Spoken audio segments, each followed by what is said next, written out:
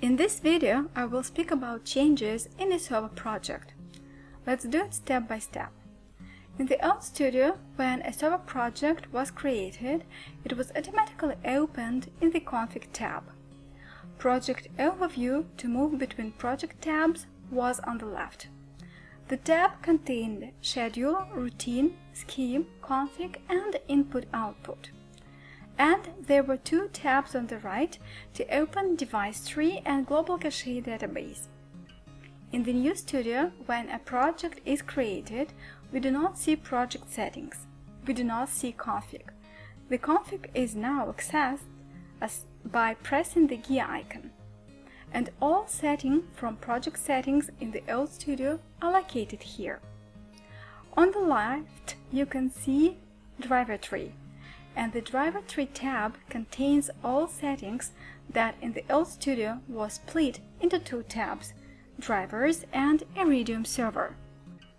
Let's add a driver.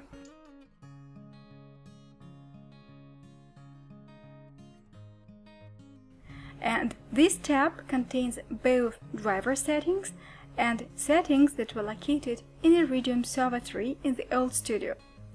Let's add Modbus TCP driver to the project in the old studio for you to see and compare. Driver settings were on the right and server settings were on the left. Now, driver settings are above server settings. In the old studio, a server tag was deleted with the help of right mouse button. Now you do it in the server settings by choosing false. And you see that the arrow next to the command is not bright blue but pale blue. It means that there is no server setting for this command and you can't control this command from a panel or use it in scripts, as it does not exist for the server. Schedule, routine and scheme are now located in the tabs on the right.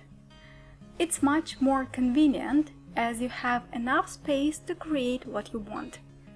Inside, everything remains the same. And as more space appeared, here is a separate tab for scripts. Let me create a new script. And now you can use scripts and the tree at the same time.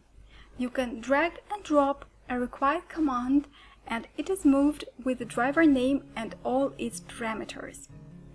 Now let's move on to new functions that appeared in a server project in the new studio. Tabs for system and project tokens appeared on the right.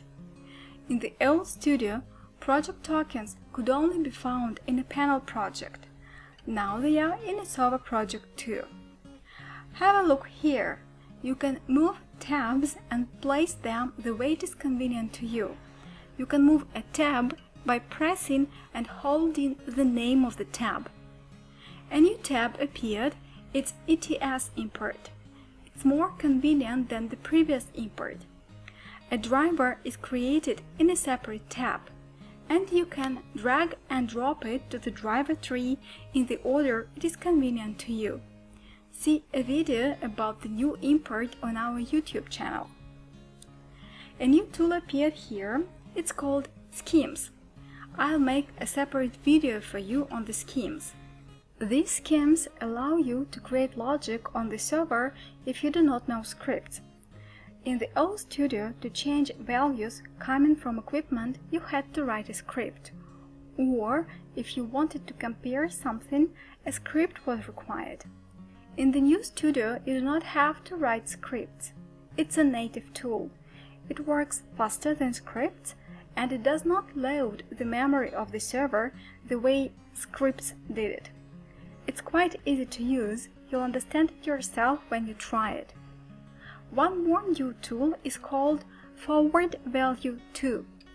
To understand what it does, remember a lesson where we created a command and a feedback channel with the same name, and then we wrote a script that allowed us to forward a command that came to this virtual command from a panel to a feedback channel with the same name. Now, the script is not required. All we have to do now is to enter in the forward value to a setting where you want to send a value. It can be done in two ways. First, I select a command, then go to forward value to and then select a required virtual channel. It appears in the second column and in the field of forward value to. And now everything that comes to this command is automatically forwarded to this feedback channel. And there is one more way to do it. Simply drag and drop a required feedback channel in the second column. Thus, you set data exchange with one click. And the last change in settings of server project is emulator. In the old studio, you had to press Send to transfer and then upload the project to the server. It was not very convenient, especially when you debugged a project on Windows.